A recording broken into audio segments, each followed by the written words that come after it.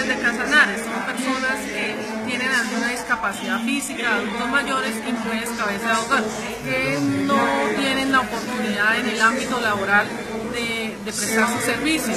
Entonces, ellos en este momento son personas que han trabajado en zonas azules, en proyectos sociales, que pueden prestar su servicio en esas áreas. Usted eh, hacía una serie de solicitudes aquí ante el Consejo Municipal de Yopal. ¿De qué se trata? Se trata de, de como se, el objetivo de la asociación es presentar propuestas al sector público y privado para generar inclusión social. Entonces, el primer proyecto que se concibió en la administración de, esas, de las zonas azules, un proyecto que ya se ha venido desarrollando desde 2002, ya, según el acuerdo 16 que tiene la alcaldía, eh, se ha venido, se- lo que se quiere es administrar esas zonas azules para que, para que eh, se mejoren las condiciones de vida de esas personas y de pronto eh, se quiten tantos obstáculos que han tenido ellos para ser contratados por el ente que regula las zonas azules que es el. ¿Cuáles han sido esos principales obs- obstáculos que usted llama para la contratación con el INDI? Primero, a ellos, el- la primera medida es que ellos los contratos son muy cortos, son contratos de un mes, dos meses, cuales generan unos gastos que relativamente que es- no compensan, que se podían haber sido contratos de un año o a seis meses para que compensen esos gastos que son obligatorios. Eh, por la salud de la persona tener de esos gastos. Lo otro es que ellos eh, no se les dan garantías para que las personas puedan recoger o cobrar el espacio público. ¿Cuál es una garantía? No hay una cultura ciudadana, no le está diciendo a la gente que si ellos utilizan ese espacio deben pagar, ¿sí? Debe haber establecido una cuota, no la está.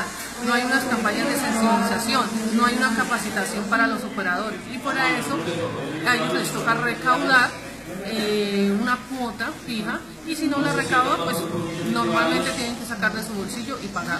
Ell- Ellos no les descuentan directamente el cheque que les pagan, porque eso es ilegal, pero sí les hacen dar un compromiso de que si no pagan, no cumplen con la cuota y no vienen a pagar después de que les cambien el cheque, pues no les dan contrato.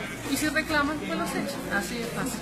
Uno de, los, de las personas que tuvo la oportunidad de hablar manifestaba que eh, no, no tenía ningún tipo de recibido o de documento que certificara que ellos sí cumplieron con la cuota diaria. Sí, normalmente cuando uno paga, le paga a una institución y más del Estado, debe haber un recibo de pago, ¿cierto? O una consignación a una cuenta de ellos. Eso no existe. Simplemente van a la oficina, pagan su, su recaudo no hay una- un recibo que soporte de que ellos pagaron. Es decir, es decir, es decir que los recursos que recoge el IURI por, por esos recaudos tienen, por decirlo así, un destino específico, o sea, no hay algo que garantice que llegan a, tal inversión, por decirlo así. Pues hasta el momento no, nosotros no, no tenemos algo de que ellos garanticen que esos recursos los están invirtiendo. Pues eso ya es interno, que ha sido como imposible. No hemos querido ir a hablar directamente y a, pedir información, pues para no chocar con el IDURI, porque ellos son los que regulan y es lo que menos nosotros queremos, porque nosotros queremos concertar con, con el ente que regula la- las zonas azules. ¿Cuántas personas pertenecen a esta fundación? 25 personas en, estas, en las tres condiciones que ya le había dicho, que son discapacidad, adulto mayor y mujer cabeza de hogar. Mujer cabeza de hogar. ¿Cuáles son, pues, por decirlo así, eh, las principales quejas o reclamos de, pues, de los miembros de esa, de esa fundación? Las principales es que a ellos no les dan las garantías, les obligan a recaudar una cuota. Eh, quejan también de todo, de todo del tipo de contrato que les dan, ¿sí? Eh, por lo que es tan corto y les genera muchos gastos.